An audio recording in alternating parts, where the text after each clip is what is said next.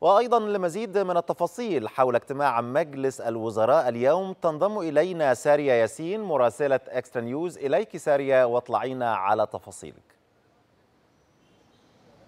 نعم شادي شكرا جزيلا. بالفعل عدة بيانات خرجت اليوم عن مجلس الوزراء. تابعنا آخر هذه البيانات في المؤتمر الذي تابعناه منذ قليل برئاسة الدكتور مصطفى مدبولي رئيس مجلس الوزراء وأيضا وزراء التربية والتعليم ووزارة الصناعة وأيضا وزارة المالية والتي كانت أبرز هذه القرارات وكانت أبرز هذه التوصيات تتحدث تحديدا عن المعلمين والموظفين العاملين في في إدارة أو وزارات التربية والتعليم أو في العملية التعليمية. أبرز هذه القرارات والتي تحدث عنها دكتور مصطفى مدبولي في البداية وأنها طبعا تبعا لتوجيهات توجيهات السيد الرئيس عبد الفتاح السيسي بشأن الاهتمام بشكل أكبر بالموظفين العاملين في العملية التعليمية. من أبرز هذه القرارات هو قرار يتعلق بقانون أو الموافقة على قانون قانون يتعلق بتحسين أحوال الموظفين العاملين في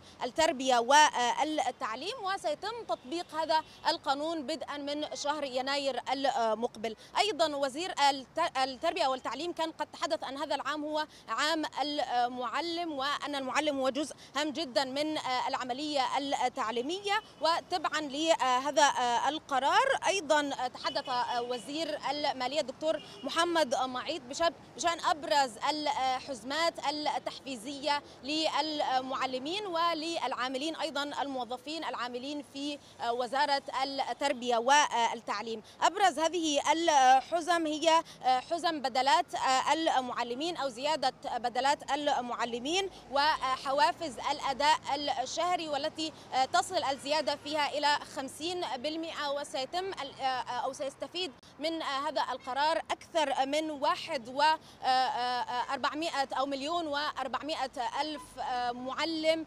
في وزارة التربية والتعليم. أيضا من بين هذه القرارات هو إنشاء أيضا صندوق لرعاية أو للرعاية الاجتماعية والاقتصادية للعاملين أو الموظفين العاملين في وزارة التربية والتعليم. وهو يأتي هذا الصندوق أو إنشاء هذا الصندوق يأتي بتوجيه خاص ورعاية خاصة من الرئيس عبد الفتاح السيسي والذي أيضا سيستفيد منه عدد كبير من المعلمين يصل عددهم إلى حوالي أكثر من 2 مليون معلم في العملية التعليمية أو في وزارة التربية والتعليم. أيضا دكتورة نيفين جمع وزيرة الصناعة والتجارة كانت أيضا قد تحدثت عن إنشاء المجمعات الصناعية وكيف أن هذه المجمعات الصناعية هي هامة جدا ل يعني تقليل أعداد البطالة توفير فرص عمل للشباب وأنها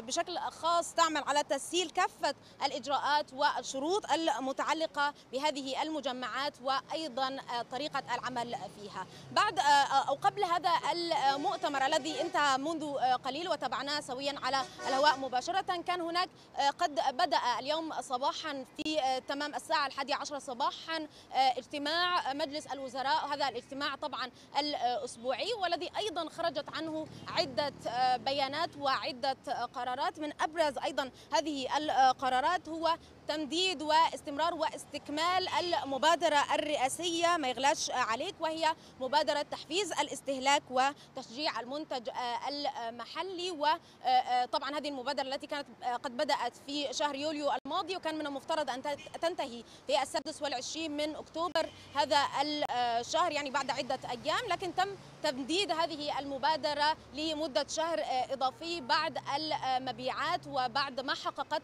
من نجاحات يعني وصلت إلى أرقام كبيرة في مراحلها الثلاثة عدد كبير أكثر من 174 مليون من المبيعات وفرتها هذه أو حققتها هذه المبادرة. طبعا كان هناك عدة قرارات أخرى وافقت عليها أو وافق عليها مجلس الوزراء أيضا من بينها الموافقة على قرار رئيس الجمهورية بشأن ميثاق غاز شرق المتوسط. هذه